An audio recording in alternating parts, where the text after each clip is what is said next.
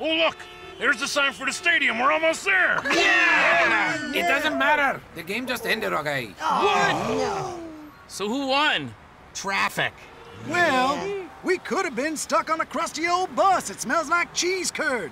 Instead, we get to ride in a comfy Highlander. Yeah. And we have our fans to thank for giving us updates on the game. Ooh, say, Pepe, what are fans saying on Twitter now that the game is all...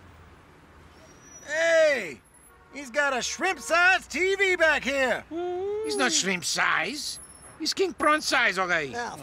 Wait, you've been watching the game this whole time? Look, be cool, Scooter.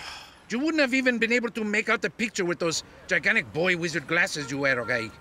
I did you guys a favor. Whoa, whoa, whoa! I just thought of something. Yeah, what? Well, since we live in Hollywood, which is 3,000 miles in the other direction, Yeah. and uh, if the stadium's up ahead and the game just ended, Yeah. Well, that means people are going to be leaving, which means More traffic. it's always about you. You're not that kind. You're not hiding this like that. Uh, Anybody got any snacks, like a soft pretzel or some seven-layer dip? Eh, all I can find back here is a bottle of shrimp cocktail sauce, okay?